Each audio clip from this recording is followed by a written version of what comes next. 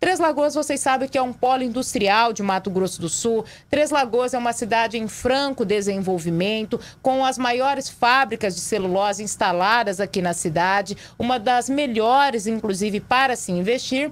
Em que pese todo esse desenvolvimento, Três Lagoas ainda sofre com muitos problemas, principalmente na parte da infraestrutura. A cidade ainda tem muitas deficiências e uma delas é a falta de moradia popular. Acesso à moradia com as devidas condições de infraestrutura não atinge todas as camadas dos três lagoenses. Basta andar pelos bairros mais afastados da cidade para se deparar com pessoas morando em barracos ou em construções inacabadas, sem as mínimas condições de conforto. Em muitas situações, são famílias que sobrevivem de benefícios do governo ou de ajuda. A professora doutora em Geografia da Universidade Federal de Mato Grosso Grosso do Sul, Edma Aranha, há alguns anos vem alertando sobre a possibilidade de Três Lagoas enfrentar um processo de favelização, caso não haja uma política habitacional de inclusão social. Há alguns pontos de favelização. Se não houver uma política de pública de habitação popular que consiga é, dar abrigo para as pessoas que chegam para o trabalho e mesmo aqueles que é, já estão aqui em Três Lagoas, porque foi um fluxo muito grande de pessoas após 2008, 2010, e muitos não conseguiram emprego, né? Então não vieram só, é, não veio só mão de obra especializada.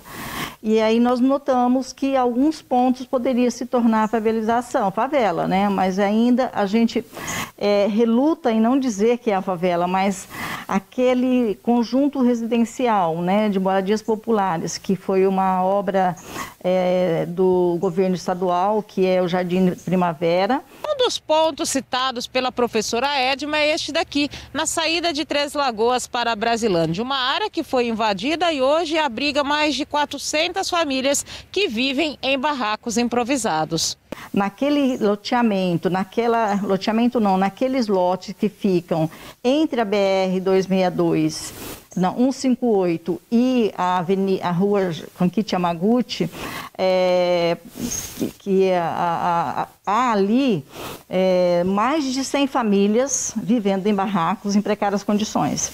Então, ali certamente será, tornará uma favela, se já não é. Porque, segundo o IBGE, favela consiste em um aglomerado de barracos, né, construído com matéria, material é, de, de descarte, como latas, zincos, papelões, lonas, né, é, sem, sem o fornecimento de serviços básicos, água e luz, é, num total de 51 já forma. E ali a gente tem mais disso. Já fui lá, já fiz a contagem, tem mais de 100 é, barracos, pessoas vivendo ali. Então, e a prefeitura, né, o governo municipal, ele não construiu uma unidade habitacional nesses quatro anos que passou de governo. Vamos ver se agora, nesses próximos quatro anos, o prefeito Anjo Guerreiro é, né, dota a cidade com mais moradias, porque é, é muito sinistro você ver uma cidade com um PIB tão alto como Três Lagoas, com uma arrecadação alta, e você vê essas, esses escapes né, de famílias inteiras vivendo em precárias condições. Então, nós não tínhamos moradia, moradores aqui, não tínhamos pessoas que viviam abaixo da linha da pobreza, mas essas pessoas já estão abaixo da linha da pobreza. Apesar das opiniões divergentes sobre áreas invadidas, Edma Aranha ressalta que o acesso à moradia está previsto na Constituição Federal. Sou a favor da vida, eu sou a favor do provimento dos serviços necessários e básicos às pessoas, né? Está previsto na Constituição. Então, o poder público tem obrigação de dar conta desse, desse atendimento, fazendo o quê? Promovendo, construindo moradias para essas pessoas, moradias populares, que não fica tão caro.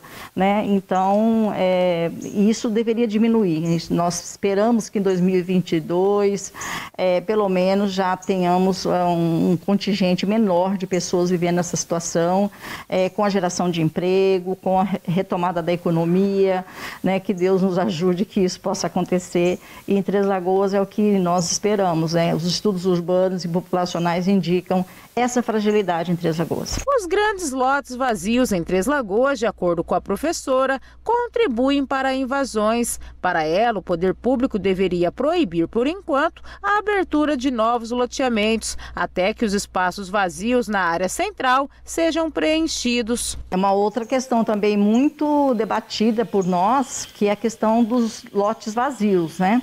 É, eu orientei um trabalho de mestrado de um aluno, ele é da arquitetura, eu orientei na geografia, que ele estudou sobre os vazios urbanos de Três Lagoas. Então, vão fazendo loteamentos e cada vez mais afastados do centro e vão deixando diversos lotes vazios, ou como forma de estratégia de valorização posterior para colocar no mercado, que seria uma especulação imobiliária, ou famílias ou pessoas que compram e deixam lá para valorizar ou para depois posteriormente vender, mas isso tem sido uma tendência muito grande. Então, por exemplo, o Jardim Montanini, lá naquela distância, precisaria ir naquela distância, deixando aquele enorme vazio?